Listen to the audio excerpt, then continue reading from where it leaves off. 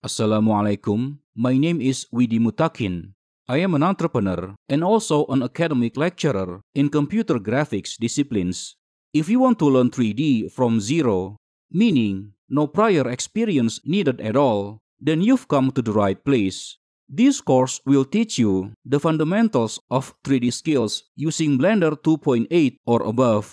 The curriculum in this course is carefully designed so that students can learn gradually from the easiest lesson to the more advanced lessons seamlessly. After completing this course, you should be able to model a robot like this, add materials to it, create lights, and then render it using the Eevee rendering engine.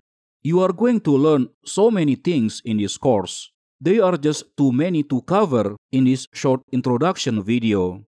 But just for a quick summary, the course is divided into four parts. In the first part, we'll cover the essentials such as understanding how Blender's UI works, different techniques of viewport navigation, learn basic object operations, then basic transformation, different types of interaction modes, and how to do basic mesh editing. In the second part, we'll focus on look development techniques. We'll cover in depth each viewport shading modes available in Blender. Learn about different rendering engines. Learn how to create and use materials, basic CG concepts such as color models, bit depth, and color codes. Learn how to create and control the camera object. Learn about the surface smooth shading and how to control it, and how to use screen space reflection inside Eevee. In the third part, we'll focus on 3D modeling skills. We will cover advanced transformation techniques. Then, learn about the pivot point and how to control it.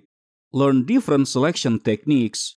Learn about inset, extrude, and bevel. Then, we will cover knife and bisect tools. Learn how to add loop cuts, how to patch holes using different methods. Learn the basics of modifiers and how to use the mirror modifier. Learn the common 3D modeling mistakes and how to avoid them. Understanding normal direction and how to create manifold geometry. Learn point-to-point modeling techniques and so much more. There are many hands-on projects in this course, such as creating this custom monkey head model using just the basic mesh editing techniques and then add materials to it. Learn to model this kindergarten chair. Create vases like this using different approaches. Create a Roman column like this one. Create a toy train model by leveraging the snapping feature in Blender. Then model a coffee table like this one. Finally, in the fourth part of this course, we will do the final hands-on project which is making this robot.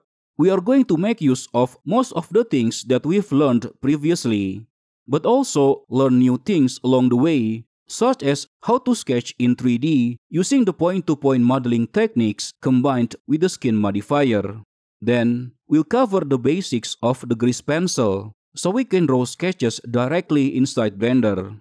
Then, we will cover special movement operations such as fatten and shrink, and also sliding vertices or edges. We will also be covering the basics of the curve objects in Blender and how to use it to create the snake-like arm of the robot. Finally, we will cover how to create global illumination in Eevee using the irradiance volume. Inshallah, you'll be able to create robots like this or any 3D models at this level of complexity if you follow the course step by step in order.